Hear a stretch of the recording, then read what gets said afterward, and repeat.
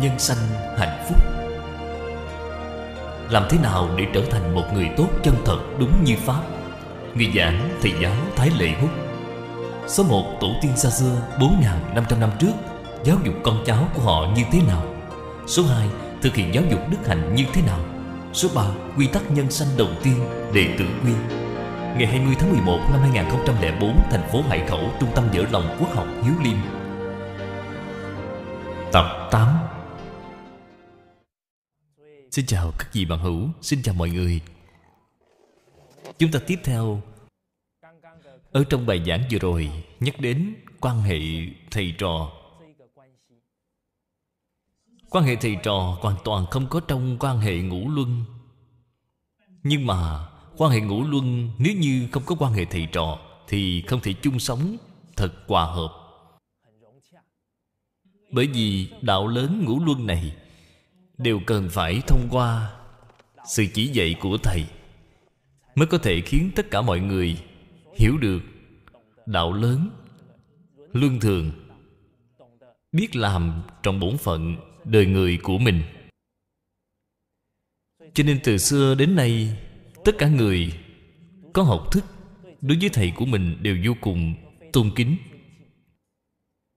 Chúng ta hãy cảm nhận một chút người cổ đại là làm sao? Dùng thái độ, tâm cảnh như thế nào để đối xử bậc thầy của họ? Vào thời triều minh, có một vị danh thần tên là sử khả pháp. Sử khả pháp, lúc ông còn trẻ tuổi, đi học vô cùng khắc khổ, vô cùng chăm chỉ.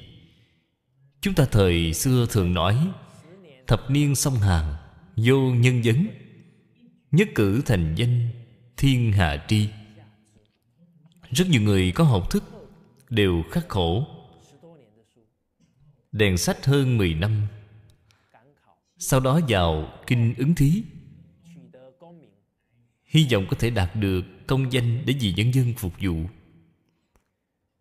Và đương thời, Có một vị đại thần Tên gọi là Tả Trung Nghị Công. Đúng lúc Tả Trung Nghị Công, Ông là đảm nhiệm chức quan chủ khảo của lần thi này. Ông luôn luôn nghĩ là Phải giúp nước chọn ra Những nhân tài ưu tú, Ngõ hầu tạo phúc cho dân. Cho nên tả trung nghị công, Liền thay hết quan phục của ông, cải trang đi tuần vào trong những ngôi tự miếu dùng phụ cận kinh thành để thử xem tố chất của người học trò đi thi lần này như thế nào.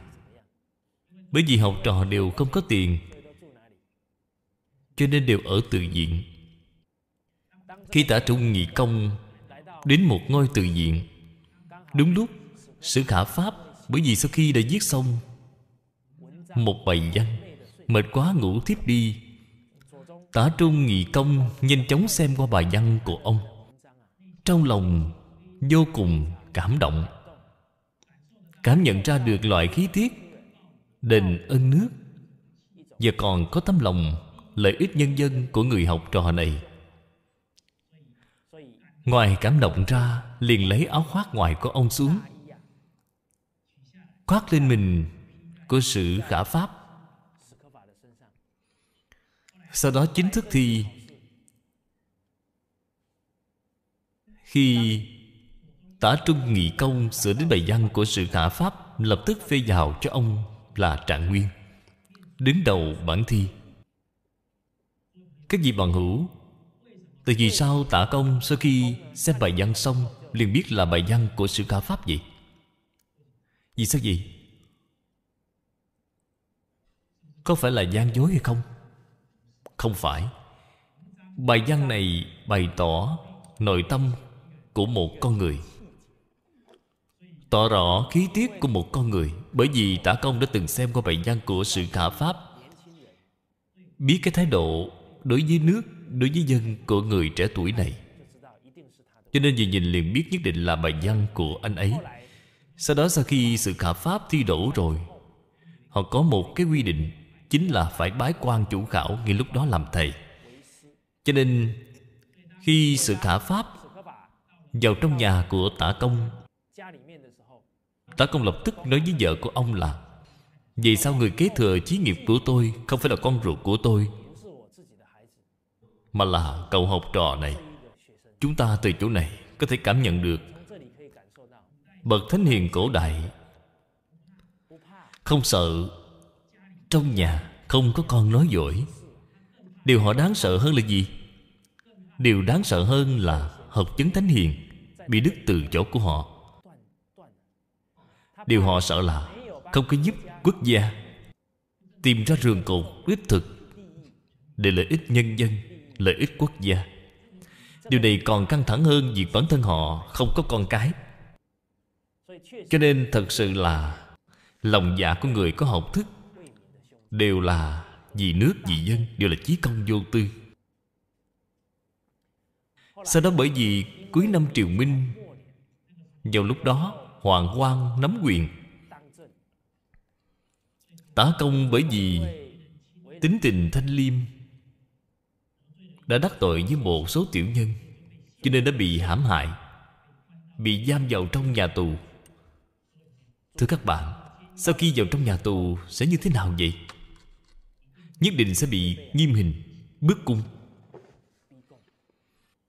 Cho nên con mắt của tạ công đã bị miếng sắt thiêu. Khiến da đều dính liền lại với nhau.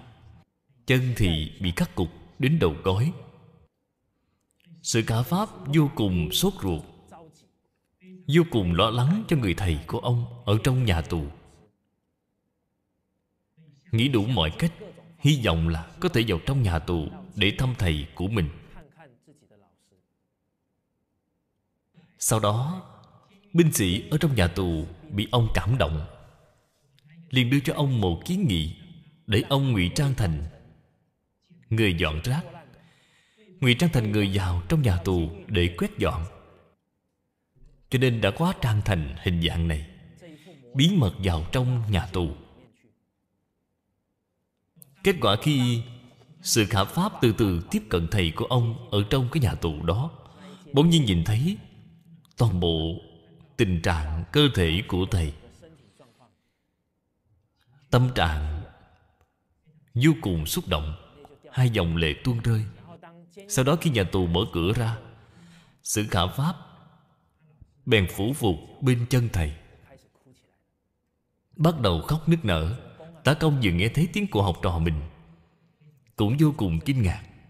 Lập tức, dùng đôi tay của ông dịch mắt của mình ra. Ánh mắt vô cùng nghiêm túc, nhìn vào sự khả pháp, nói với ông, con hiện nay là thân phận gì? Con là rừng cột nước nhà.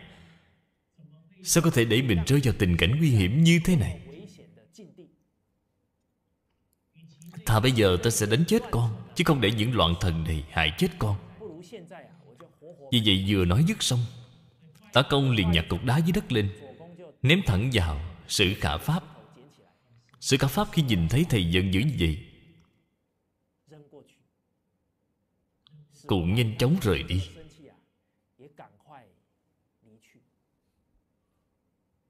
Các gì bằng hữu tại sao tả công đối với sự khả pháp như vậy?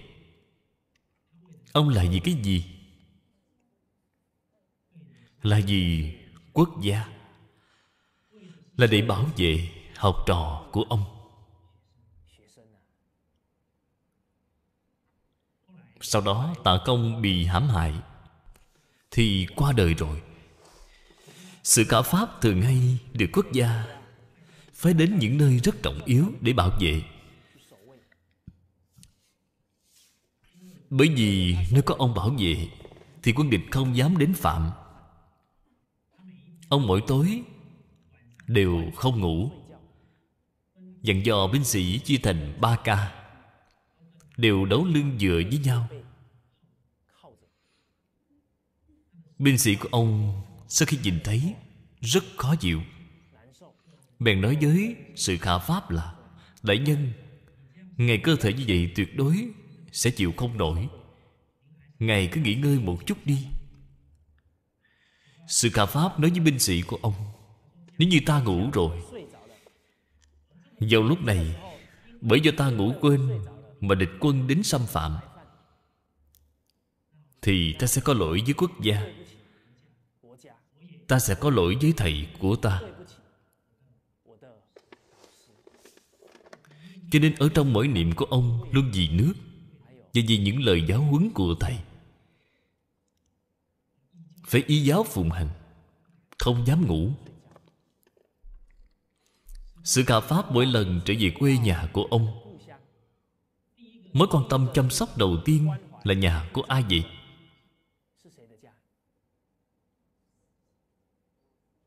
Chính là gia đình của tả công,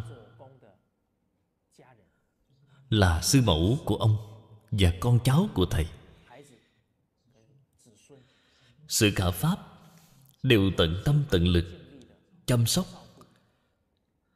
Cho nên sự khả pháp ngõ thật là Đã làm được câu nói, Một ngày làm thầy, Suốt đời làm cha. Và chúng ta cũng thể hội được Sự khả pháp đối với lời dạy của Thầy. Từng giây từng phút không dám quên.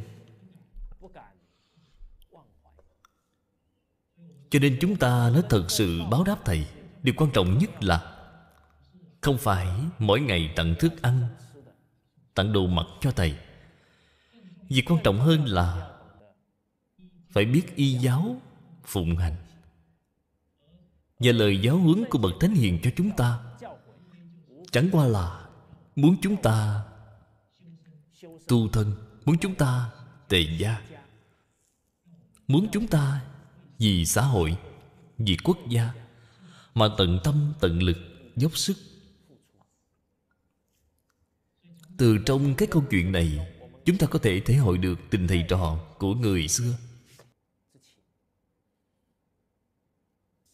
Ở trong bài học phía trước, cũng nhắc đến với các vị, tôi đề này bởi vì lúc còn nhỏ, có hình thành thái độ lễ phép, cho nên có được rất nhiều lợi ích trong đời sống chúng ta hãy suy nghĩ một chút. Một đứa trẻ nếu như từ nhỏ vô cùng có lễ phép, thì cuộc đời của nó sẽ có được rất nhiều sự trợ giúp, sức mạnh giúp đỡ. Và một đứa trẻ nếu như từ nhỏ vô lễ, thì cuộc đời của nó không chỉ không có tăng thêm sự giúp đỡ, mà còn tăng thêm rất nhiều trở lực. Chướng ngại. Bởi vì lúc nhỏ thường hay thất lễ và có đối tượng mà nó thất lễ này, nếu như rất không có tu dưỡng, thì sẽ luôn luôn nghĩ cách muốn kiếm chuyện với nó, muốn chướng ngại nó. Cho nên có lễ phép sẽ giúp ích rất lớn đối với đời sống. Đúng như lời giáo huấn trong Đệ tử quy là, Việc chú bác như việc cha, Việc anh họ như anh ruột. Khi chúng ta đọc đến câu kinh văn này Chúng ta cũng cảm nhận được sâu sắc. Cha mẹ của người khác Đối với gia đình, đối với xã hội Đều rất gian lao Đều rất vất vả. Cho nên sau khi cái tiết học đó giảng xong Đúng lúc tám chín năm chúng ở cùng với nhau. Và tôi vừa về đến phòng ngủ tôi liền bắt đầu thỉnh giáo một số bậc trưởng bối. Tôi gặp được một bậc trưởng bối, chú họ đàm. Tôi liền thỉnh giáo một chút. Và xin hỏi năm sinh của chú là năm mấy? Kết quả hỏi ra mới biết tuổi còn lớn hơn cha của tôi. Tôi lập tức nói với chú, con chào bác đàm. Cúi chào bác một cái. Xin thưa các bạn, Cái cúi chào xuống này có biến đổi gì vậy? Cuộc đời luôn luôn là ở trong một vài động tác Thật chân thành của bạn liền tạo ra thay đổi ngay. Cho nên cái cúi chào xuống nị của tôi, Đầu ngẩng lên thì bác đàm này mỉm cười ra tới mang tay Trong miệng còn hét lên. Ngồi máy bay mấy dạng dặm mới quen được một đứa cháu trai Và rất vui mừng. Bên cạnh lại có một bậc trưởng bối khác, Tôi hỏi ra, Biết là chú họ Trần? Tôi nói, con chào chú Trần. Nhỏ tuổi hơn cha tôi. Sau khi hai cái cúi chào này của tôi chào xong, Thì có một vị trưởng bối khác đi đến. Ông nói, tôi cũng muốn, Tôi cũng muốn làm chú. Cuối cùng, người chú này họ Lư, Tôi nói, con xin chào chú Lư. Thật ra, tôi sau đó nghĩ lại, Vị trưởng bối này vô cùng nhân từ, Cũng rất có trí huệ. Ông muốn giúp đỡ bạn Và tự mình tạo ra cơ hội cho bạn. Chạy qua nói, tôi cũng muốn. Sao chúng ta không biết mặt mũi thật của Lô Sơn? Tại vì sao tôi nói như vậy? Bởi vì vị trưởng lão này, Từ ngày đầu tiên vào học đã ngồi bên cạnh tôi. Vẫn không có chỗ trống là ngồi sát bên cạnh tôi. Bởi vì chú tính tình rất khiêm nhường. Khi nhìn thấy chú là Giống như nhà sát vách vậy, Bản thân cũng không cảm thấy rất đặc biệt. Sau đó sau khi cái cúi chào xuống này của tôi, Ngày hôm sau vị trưởng lão này, Chú Lư này liền gọi tôi đến phòng khách. Ngồi xuống bắt đầu Đem rất nhiều kinh nghiệm Và trí huệ trong cuộc sống của chú. Rủ rỉ nói ra cho tôi nghe, Tôi mới bắt đầu thấy rất kinh ngạc. Bởi vì vị trưởng bối này Năm 29 tuổi đã làm tổng giám đốc. Cái tổng giám đốc này của chú tuyệt đối Không phải chú tự mình phong cho mình. Nghe nói hiện nay bản hiệu rơi xuống. Sẽ tóe ra đến mấy cái tổng giám đốc. Tổng giám đốc quá nhiều rồi. Chú không phải loại tổng giám đốc này. Là ngồi giữa hai hàng cổ đông. Sau đó mỗi người chất vấn. Vấn đề với chú Chú nói nhân sự phát triển Biến đổi như thế nào? Bạn phải ứng đối ra làm sao? Tại dù xảy ra nguy cơ gì, Bạn phải xử lý như thế nào? Cứ như vậy từng người Đi vấn đề với chú Chứ phải như vậy đối đáp trôi chảy. Sau khi đáp xong, cổ đông mở hội nghị, Có cần mời người này làm tổng giám đốc hay không? Sau khi được mời, Chú chỉ một mình đến trấn giữa.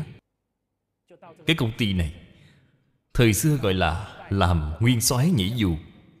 Công việc như vậy Có dễ làm hay không vậy Không dễ làm.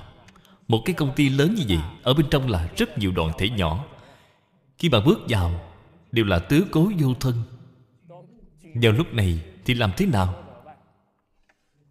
Cái chỗ dựa này chính là trí huệ và đức hạnh. Cho nên chú Lư nói Chú có một lần đến một nhà hàng lớn Để làm tổng giám đốc. Chú nói sau khi chú đến đó Lập tức sắn tay áo lên Vào trong nhà bếp Phụ họ rửa chén, rửa đĩa. Cho nên những công nhân này cảm thấy Chú thật thân thiết. Và lại ấn tượng sâu hơn nữa là Rõ ràng tổng giám đốc rửa đĩa còn sạch hơn họ. Khiến họ rất khâm phục. Khi tôi nghe được những trải nghiệm này của chú Lư, Bỗng nhiên trong lòng cảm thấy rất hổ thẹn. Vì trưởng bối này rõ ràng là ngồi ở bên cạnh tôi, Mà tôi lại còn không thể nhìn ra được. Tục ngữ nói không biết mặt mũi thật của Lô Sơn. Cho nên tự mình cảm thấy năng lực nhìn người của mình quá kém cỏi. Nhưng mà tôi cũng đồng thời phát hiện Một cái đạo lý rất quan trọng. Chính là người càng có năng lực thì càng khiêm hạ. Là giống như cây lúa, Được mùa đều là cúi xuống như vậy. Cho nên hiện nay rất nhiều người trẻ tuổi vừa ra xã hội làm việc, Gặp phải một số chủ quản. Ở trong công ty, Lập tức liền nói năng lực của họ có cỡ nào. Lập tức lại nói quan hệ của họ với ai đó đặc biệt tốt. Người như vậy có thể tin được hay không? Không thể tin. Nhưng mà có rất nhiều người trẻ tuổi Khi nghe những người này nói ba hoa thiên địa, Liền bị họ dắt mũi đi rồi. Cho nên năng lực nhìn người của một người Là đặc biệt quan trọng. Đương nhiên làm thế nào nhìn người Cũng phải thâm nhập Giáo huấn thánh hiền của Trung Quốc. Mới có thể làm tốt được. Và nhìn người tiêu chuẩn thấp nhất, Cái tiêu chuẩn đơn giản nhất Chính là đệ tử quy. Nếu như mọi người làm được đệ tử quy rồi, Thì bạn có thể làm đảm bảo là Người có đức hạnh, Là người đáng được tín nhiệm. Cho nên chúng tôi nói đệ tử quy là Kính hiển thánh. Có thể hiển hiện một người có phải thật sự có đức hạnh hay không? Đệ tử quy đồng thời cũng là Kính chiếu yêu bạn đối chiếu thử xem Người này làm được những phần nào trong địa tử quy. Nếu như chưa có làm được, Cho dù họ nói có dáng vẻ đàng hoàng, Ba qua thiên địa, Bạn tuyệt đối không nên tin. Cho nên nhìn người rất quan trọng. Khi chú lư đem những kinh nghiệm cuộc sống này của chú rủ rỉ nói với tôi, nội tâm của tôi rất cảm động chú đói một cái là nói đúng hơn hai giờ đồng hồ. Sau hai giờ đồng hồ, trong lòng của tôi chỉ muốn làm một động tác. Anh bạn này nói, cúi đầu 90 độ. Cúi đầu thì không thể biểu đạt loại cảm tạ trong lòng của tôi. Ngay lúc đó, tôi chỉ có một ý nghĩ, chính là quỳ xuống. Tôi lúc đó thật sự thể hội, tại vì sao người trung quốc coi trọng sư đạo đến như vậy? Bởi vì sự cởi mở của thầy, đối với cuộc đời của một con người là không có cách gì thay thế được. Cho nên tôi ngay đó liền quỳ hai gối xuống như vậy. Kết quả bởi vì chú lư khi còn trẻ có học qua nhu đạo, tay chân đặc biệt khỏe, tôi còn chưa kịp quỳ xuống, chú lập tức nắm một cái liền kéo tôi đứng lên. Chú nói không được làm như vậy. Cho nên người càng có đức hạnh thì càng khiêm tốn chú lập tức nắm một cái liền kéo tôi đứng dậy. Sau khi hơn 2 giờ đồng hồ nói xong, vì sao mỗi ngày chỉ cần chúng tôi học xong, ăn cơm no, thì chú lư liền tìm tôi nói, nào chúng ta đi dạo đi chú liền hỏi tôi, cậu hôm nay nghe giảng có gì tâm đắc không? Tôi liền đem tâm đắc của tôi báo cáo với chú sau khi nói xong chú liền nói với tôi, cậu nhìn sự việc chưa đủ độ sâu chưa đủ độ rộng, chú còn bắt đầu phân tích cho tôi từng ly từng tí. Chỉ dạy cho tôi. Cho nên ở trong thời gian hơn hai tháng đó, kiến thức và kinh nghiệm cuộc sống của tôi nâng cao lên đến đặc biệt nhanh.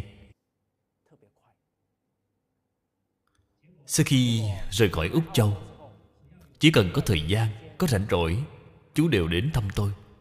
Chỉ cần tôi có đến làm việc gần nhà chú, thì tôi nhất định đến viếng thăm chú lư trước tiên tiếp tục cố gắng học hỏi ở chú, thậm chí là tôi ở hải khẩu.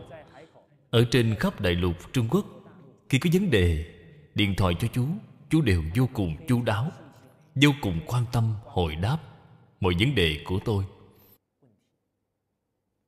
Bởi vì có cái cơ hội này nhưng được sự chỉ dạy của chú lư, thì tôi càng phải tận tâm, tận lực đem lời chỉ dạy của chú để lợi ích cho càng nhiều người hơn. Cho nên khi mỗi một lần tôi báo cáo với chú lư làm những công tác này ở trung quốc đại lục, chú cũng đều vô cùng vui mừng. Cho nên kinh sư dị đắc, nhân sư nan cầu, người thầy thật sự toàn tâm toàn ý có thể dạy chúng ta làm người làm việc, quả thật là rất hiếm có, rất quý báu. Và tôi thật may mắn đã gặp được rất nhiều vị thầy tốt. Tôi còn nhớ lúc tôi học tiểu học gặp được thầy diêu của tôi. Thầy dạy tôi lớp 5, lớp 6 vào lúc đó thành tích của tôi rất kém. Cái gì có thể nhìn ra không vậy? Không thể nhìn ra. Các bạn quá nhân từ. Không có làm cho tôi khó xử. Tôi trước năm lớp 4 thành tích đều không phải rất tốt đều gần như xếp hạng thứ mười mấy, hai mươi mấy, đều là học lực trung bình. Dù lúc đó mẹ của tôi là dạy trong cùng một trường của tôi, thì diêu của tôi liền hỏi mẹ tôi, cháu này dạy như thế nào đây? Mẹ của tôi suy nghĩ một lát liền nói, thằng nhỏ này không thích học, nhưng mà rất sĩ diện. Thầy của chúng tôi vừa nghe xong nói, được rồi vậy tôi biết rồi. Kết quả đúng lúc chúng tôi vừa bắt đầu đang xếp lớp chính là đọc đến tên của bạn, liền chạy lên trước mặt thầy giáo này. Tôi còn nhớ lúc đó, tôi là thuộc tổ 7 lớp 5 sau đó khi đọc đến tên của bạn bạn là tổ 7 tổ 8 cứ gì chạy qua. Tôi là được xếp vào trong đội ngũ của tổ 7 kết quả khi ngẩng đầu lên, thấy bạn quen biết khoảng chừng hai, ba người mà thôi, còn lại đều không quen biết. Cuối cùng khi bước vào lớp học, thầy của tôi liền nói, thái Lễ hút dắt hai bạn đi nhận chổi vệ sinh học trò nhỏ thích nhất là lao động. Được thầy gọi đều là rất vui mừng. Lập tức đi lãnh chỗ quét nhà. Sau khi trở về thầy lại nói, nào thái lị hút, đi lãnh sách giáo khoa. Chúng tôi lại dẫn một nhóm bạn đi lãnh sách giáo khoa.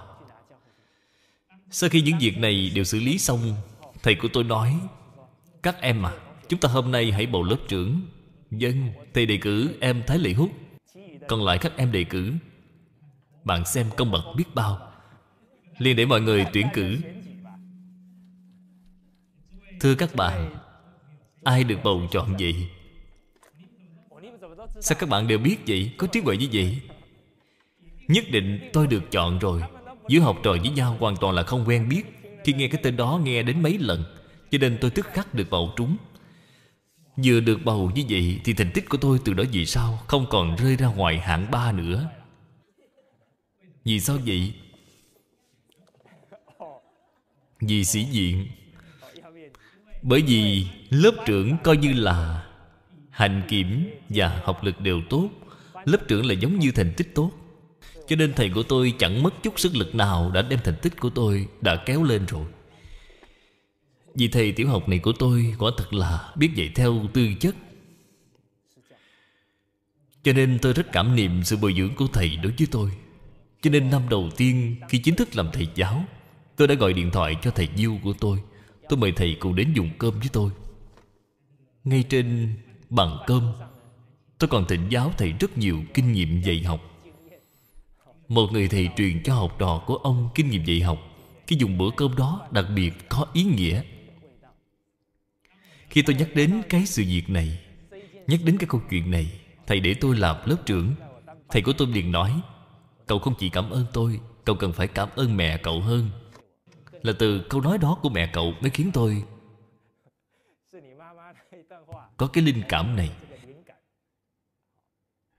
Cho nên sau khi dùng xong bữa cơm đó, Đúng lúc mấy năm, Tôi tiếp xúc được giáo huấn cổ thánh tiên hiền của chúng ta.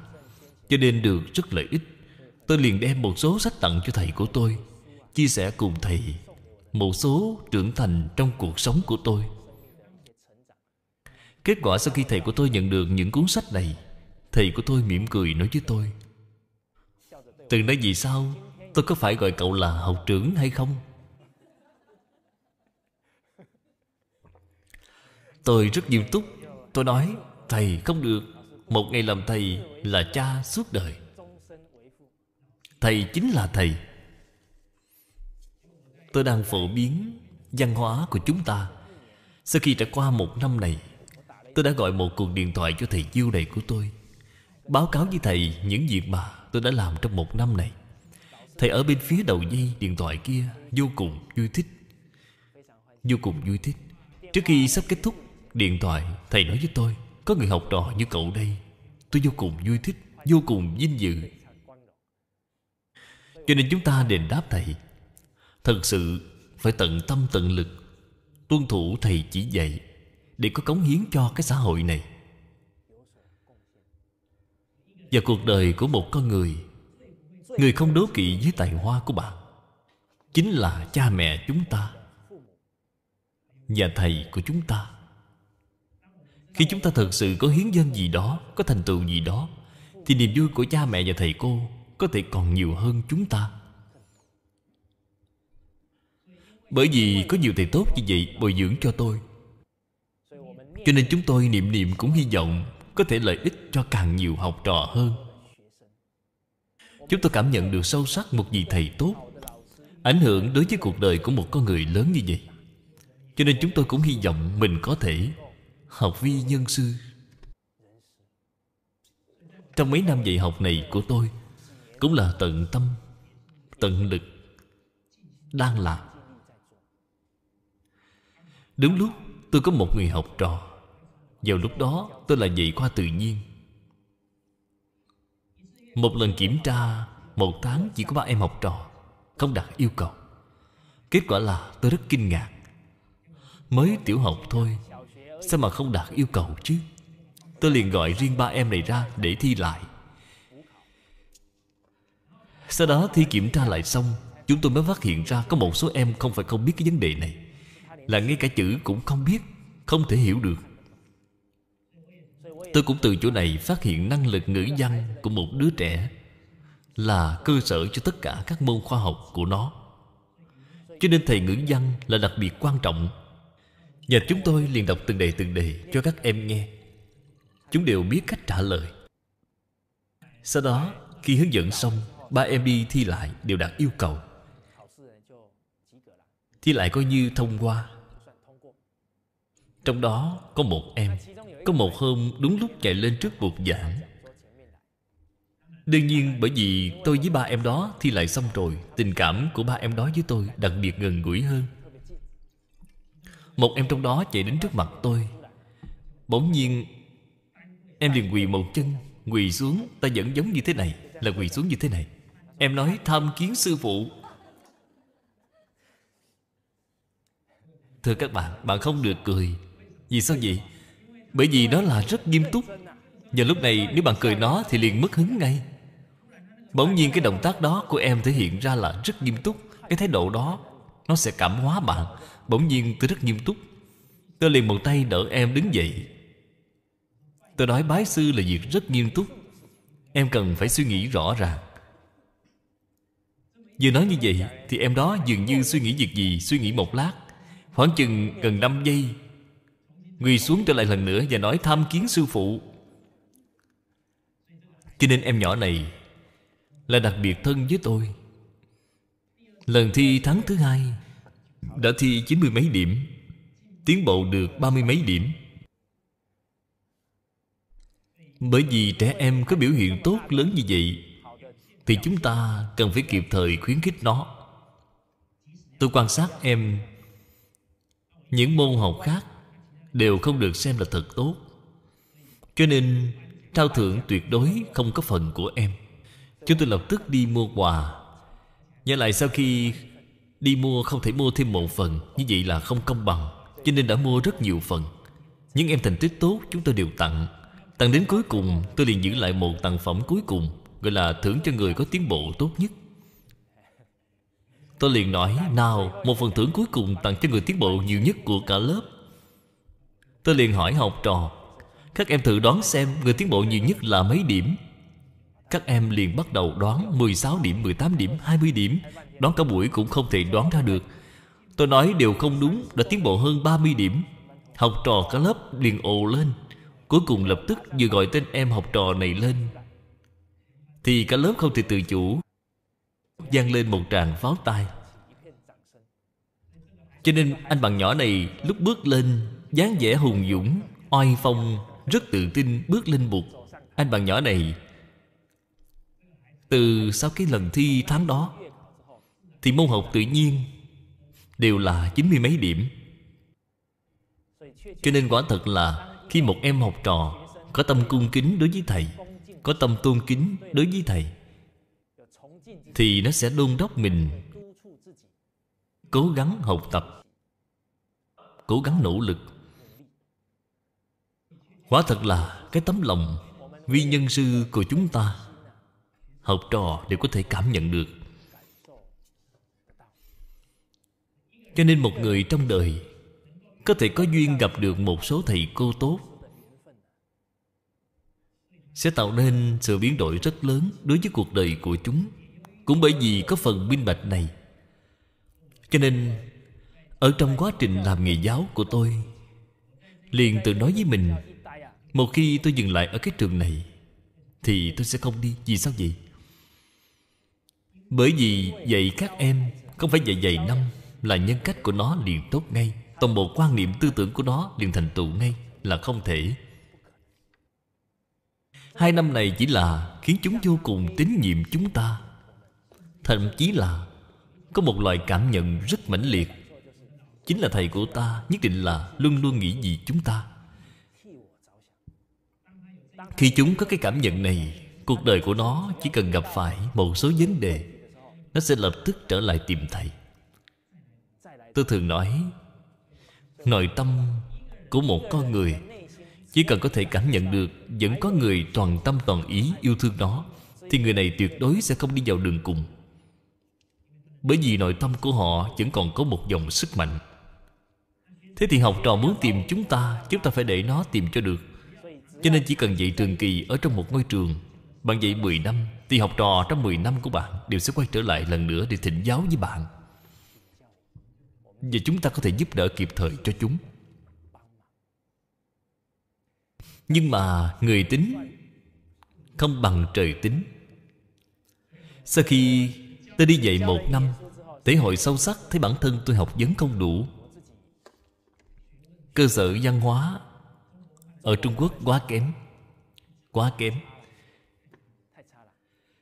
Cho nên hy vọng Nhân lúc còn trẻ Có thể thâm nhập, Hấp thu giáo huấn thánh hiền, liền từ bỏ công việc. Sau khi từ bỏ công việc, Trong lòng có hai cái ý nghĩ. Hy vọng có thể tìm được vị thầy giỏi văn hóa truyền thống. Ngoài ra, Có thể tìm được một vị trưởng bối ở trong đời sống từng ly từng tí cho tôi Những lời nhắc nhở, Cho tôi những lời giáo huấn. Cuối cùng tôi đến Úc Châu Đi học nửa năm. Trong sách Trung Dung dạy là, Chí thành như thần, Thành giả, Vật chi chung thủy. Một người khi thật sự có thành tâm, Thì nhất định sẽ có được rất nhiều người Có trí huệ. Người có đức hạnh giúp đỡ.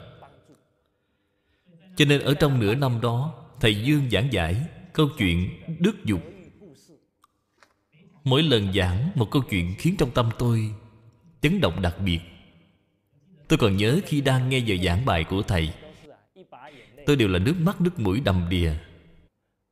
Khóc đến mức có một anh bạn người Hồng Kông bên cạnh, dáng người của anh rất lớn, Nét mặt nghiêm nghị, Rất nghiêm túc. Anh thấy tôi khóc như vậy, Còn lén lén. Đem giấy vệ sinh đẩy qua cho tôi, Cũng không dám nhìn tôi. Tôi liền cầm lên lau chùi. Tại vì sao lại cảm động như vậy? Bởi vì Trong quá trình thầy Dương giảng giải Câu chuyện đức dục này, Khiến cho tôi nội tâm cảm nhận sâu sắc. Làm người cần phải như vậy mới có ý nghĩa. Làm người phải hiếu, Để, Trung, Tính, Lễ, Nghĩa. Liêm Sĩ Đây mới là hương vị căn bản của làm người. Như vậy mới có thể kinh doanh cuộc đời thật vui sướng. Và giáo huấn của nửa năm này Khiến tôi thể hội sâu sắc, Chủ tâm của Bậc Thánh Hiền là như thế nào. Cho nên khi chúng ta thể hội được Cái tấm lòng của Bậc Thánh Hiền, Luôn luôn vì cha mẹ, Luôn luôn vì bạn bè, Luôn luôn vì xã hội Đại chúng này Cảm nhận được sâu sắc rồi. Khi chúng ta sau đó mở kinh điển của Thánh Hiền ra, liền cảm thấy vô cùng thân thiết.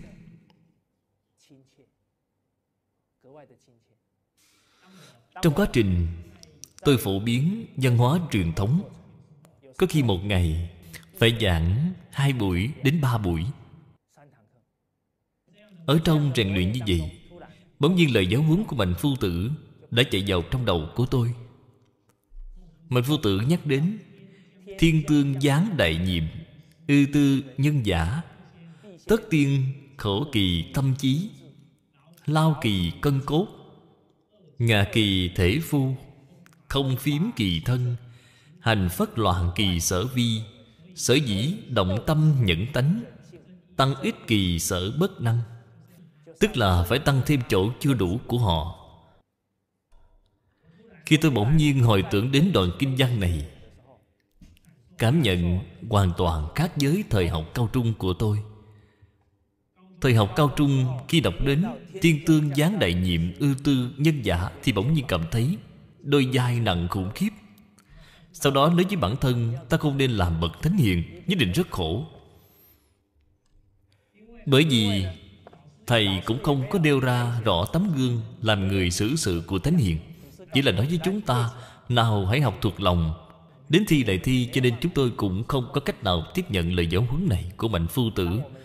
Sau khi chúng tôi có sự khảo nghiệm này, Có loại trải nghiệm như vậy, Thì bỗng nhiên cảm thấy bài văn này khi đọc lên Nó đặc biệt có ý nghĩa.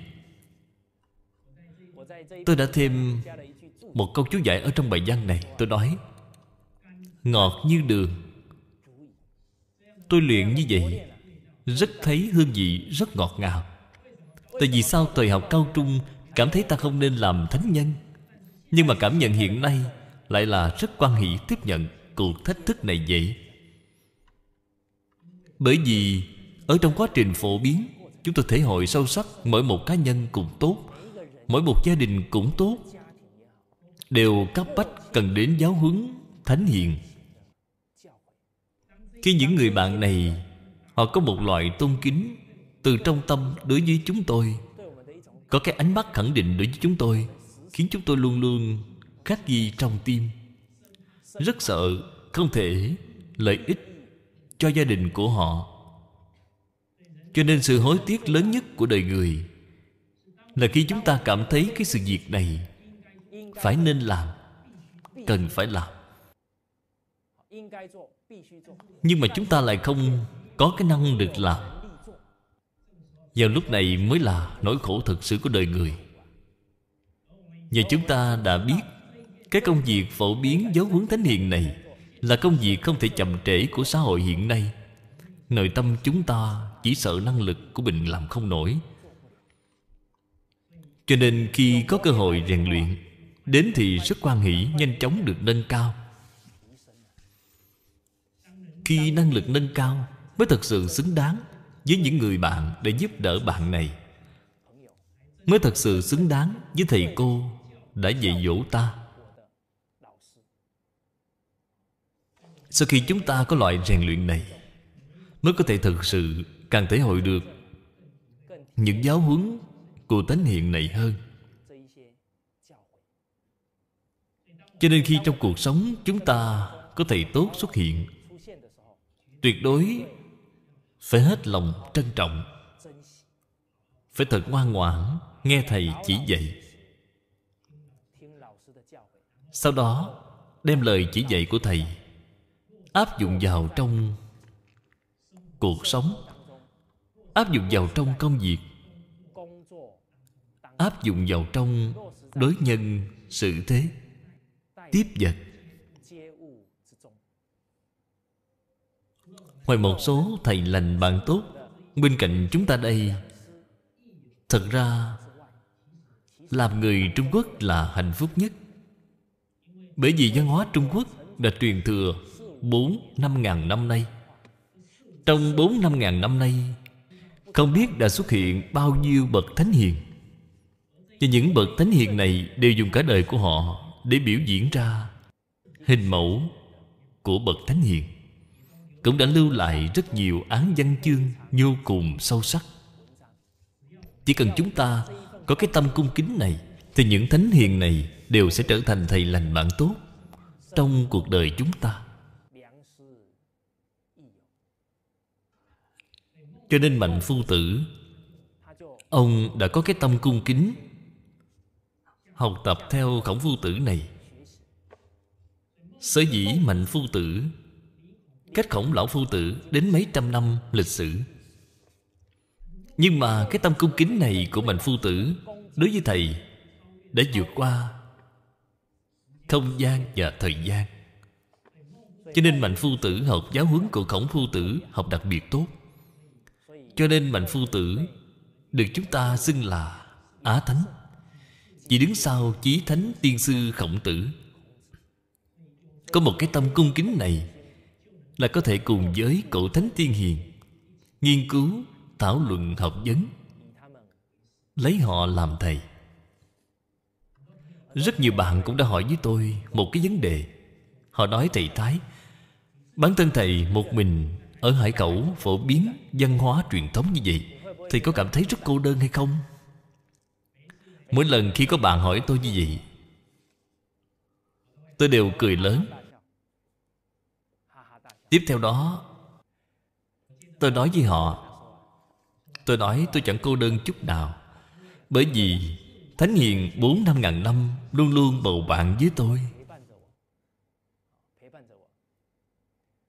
Giang Thiên Tường Có một bài thơ.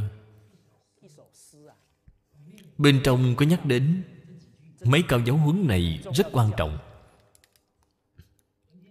Giang Thiên Tường nhắc đến Triết nhân nhật dĩ diễn. Điển hình tại túc tích Phong diêm triển thư đọc, Cổ đạo chiếu nhan sắc. Tuy những bậc thánh hiền này, Thời gian cách chúng ta rất xa rồi. Nhưng mà mẫu mực đối nhân sự thế của họ là luôn luôn. Túc tích chính là sáng tối bầu bạn với chúng ta phong diêm triển thư độc. Phong diêm là một cái góc ở dưới mái nhà. Là ở dưới cái góc hiên nhà này, mở giáo huấn của thánh hiền ra để xem. Nội tâm sẽ cảm nhận được những khí phách tốt đẹp này của cổ nhân. Là giống như ánh mặt trời vậy, chiếu rọi lên trên mặt bạn. Cổ đạo chiếu nhan sắc chúng ta thường thường có thể nghĩ đến lời giáo huấn của vua nghêu với chúng ta, nghĩ đến lời giáo huấn của chu công với chúng ta, nghĩ đến tấm gương của đại tuấn cho chúng ta, nghĩ đến khí phách của phạm trọng im chúng ta sẽ đốc thúc mình càng tiến lên phía trước hơn, càng nâng cao phẩm đức của mình thêm, tiến tới có thể lợi ích cho gia đình mình, lợi ích cho toàn xã hội quốc gia.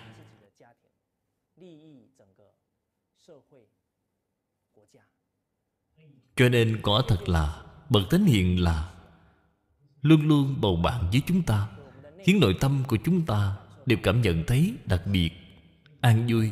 Cho nên tuyệt đối sẽ không cảm thấy rất cô đơn. Tốt rồi.